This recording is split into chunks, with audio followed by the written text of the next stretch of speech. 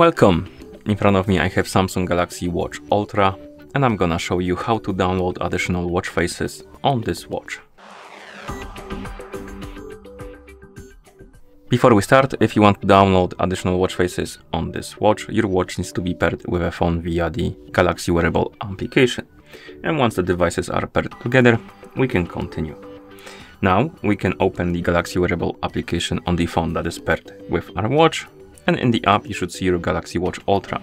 Now tap on watch faces and here we have the uh, watch face um, store I would call it or maybe watch face gallery. Um, and as you can see some of the watch faces have this download button on them. This means you can download them and apply them on your watch. To do it, tap on the watch with the download button tap on allow and install.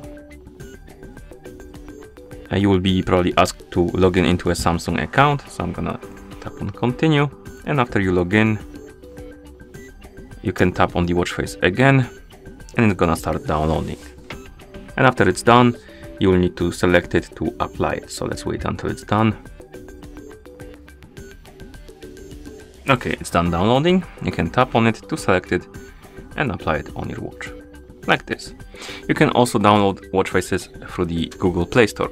And to do that, you will need to have a Google account copied to your watch, and also you need to have a Wi-Fi connection on your watch, so you have internet on your watch. And once you do, you can open the uh, Play Store on your watch. So swipe up on the home screen to open the menu, find the Play Store icon, tap on it, and the Play Store.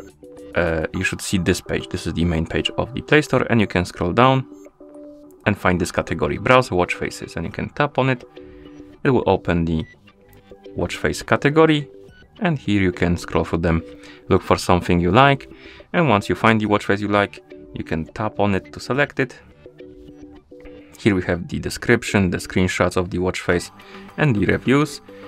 But once you decide to install the watch face, tap on install button. Then scroll down, um,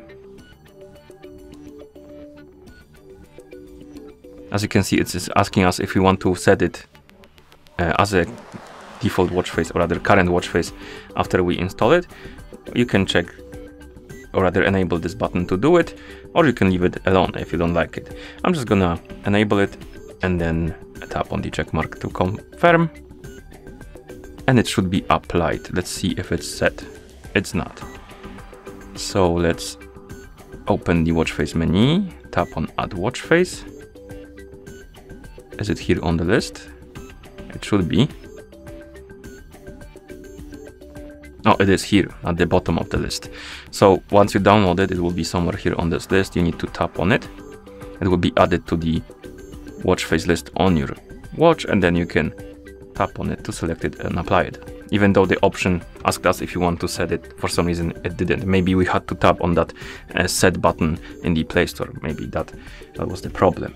But if you're missing the watch face, on the watch face list, you need to open the add watch face menu and here you need to scroll down and find the watch face somewhere here on the list. Once you find it, you need to tap on it to add it to the watch face menu and once you add it to the watch face menu, you can tap on it to select it and apply it. Okay, and that's how you download additional watch faces on this watch. Thank you for watching. If you found this video helpful, please consider subscribing to our channel and leaving a like on the video.